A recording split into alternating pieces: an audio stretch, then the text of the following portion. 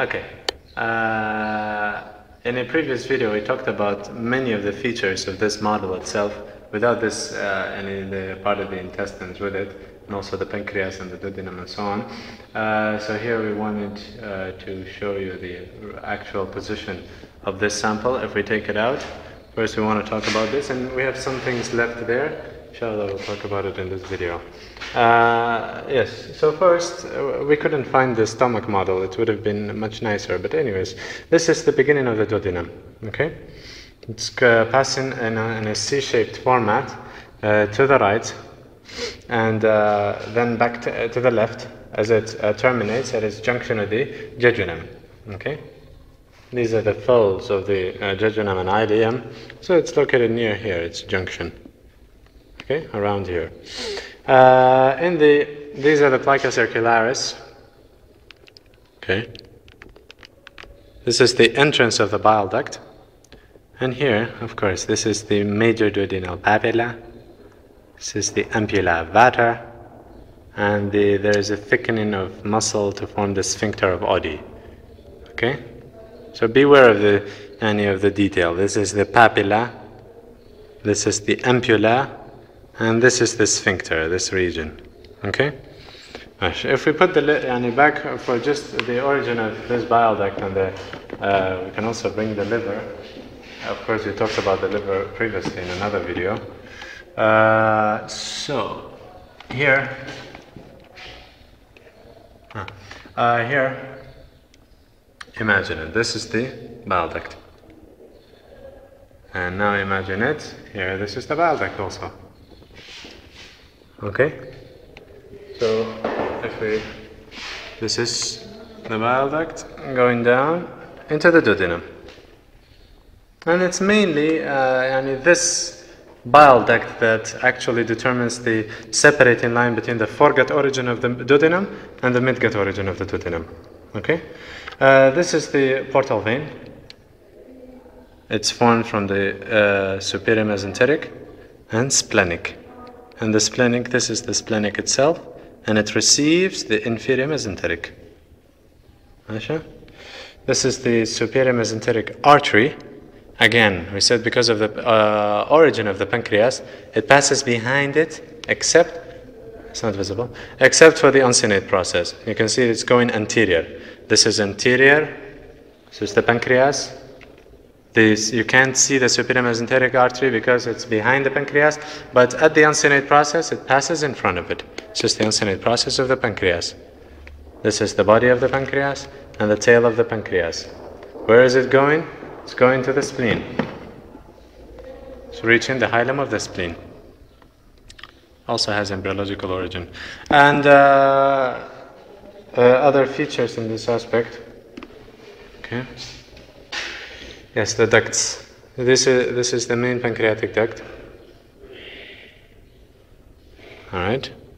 Of course, it joins the bile duct and then enters into the duodenum.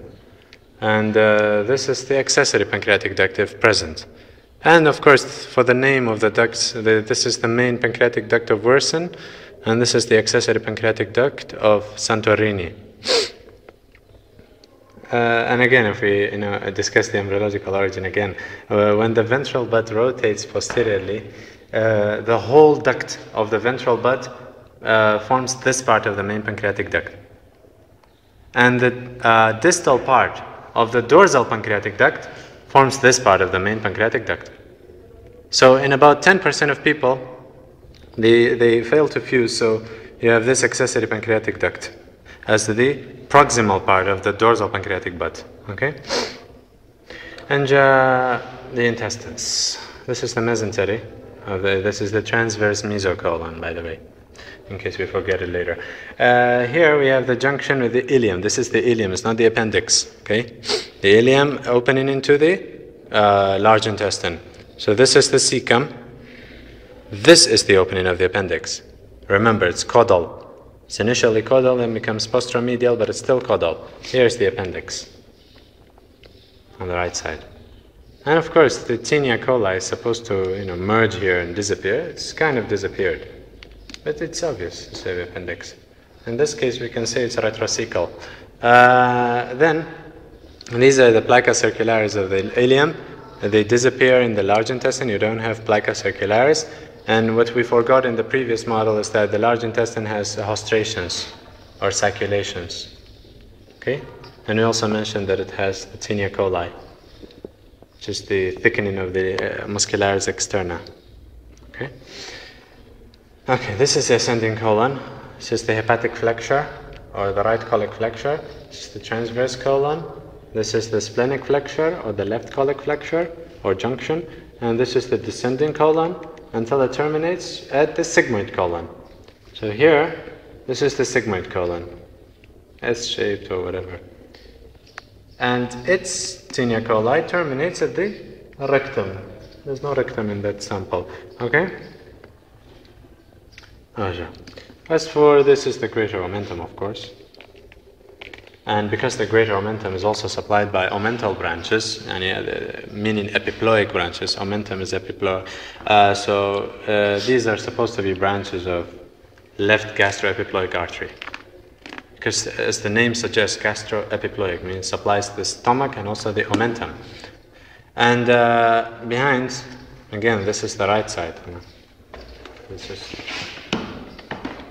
is the right side, and the right side is mainly supplied by the superior mesenteric artery, left side mainly by inferior mesenteric artery. So, this is supposed to be the superior mesenteric artery. And in this sample, it's actually much better than the other because it's higher up than the inferior mesenteric. And it's given off, as we can say, this is the middle colic, and this is the, as we can say, the right colic, the ileocolic, and this is supposed to be the continuation that should anastomose or the ileocolic. Of course, the jejunal-ileal branches are not obvious, they are supposed to come anteriorly. And this is the inferior mesenteric artery, the level of L3 it arises, uh, given of the left colic, the sigmoidal, and the superior rectal. Uh, this is not rectal, but anyways, let's say this is superior rectal. Okay. And uh, okay, this is basically what we know of this sample. I can't think of anything else. And a few things left from this sample. Uh, As I said, we've already explained this, but some things we have forgotten. This is the median sacral artery going down. Okay. These are the lumbar arteries arising from the aorta. Okay. So the lumbar veins draining into the inferior vena cava.